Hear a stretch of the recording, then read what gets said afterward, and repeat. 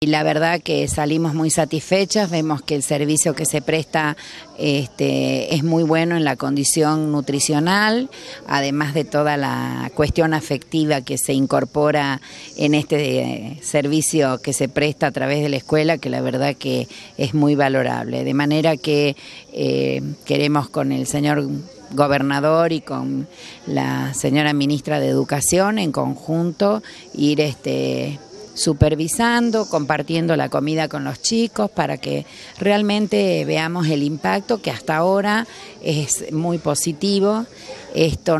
es, marca la diferencia entre comer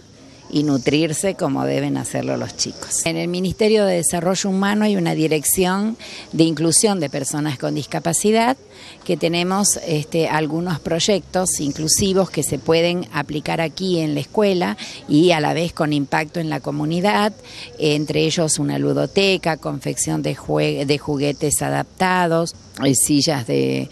ruedas que hagan falta, algunos proyectos que pueden sumarse a la mejora edilicia, pesar de que aquí ya están con una buena obra,